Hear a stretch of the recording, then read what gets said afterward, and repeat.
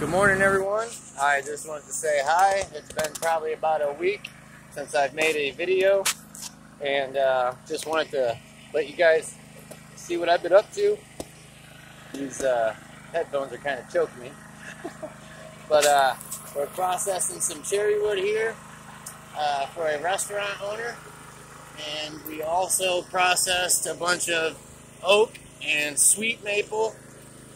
Also got the trailer loaded up again from my buddy who uh, supplies a campground here. And um, he's going to be coming to pick it up. And then we'll get him another load ready. But uh, we got a fire pile of uh, just unwanted stuff or stuff that has bugs in it. And uh, got a little bit of oak here. It's the harder pieces. I just got to chop them up. Uh, and then we can process those. And then I'm very interested in processing this hedge apple tree over here because it is a really bright, like Tweety bird yellow when you uh, split it and process it. And it looks really, really beautiful.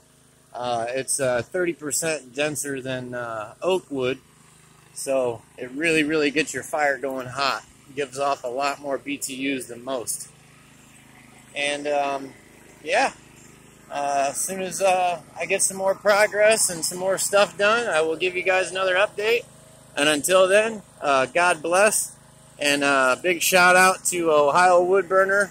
And, um, you know, you guys are my inspiration, so I'll keep it coming. Thank you all.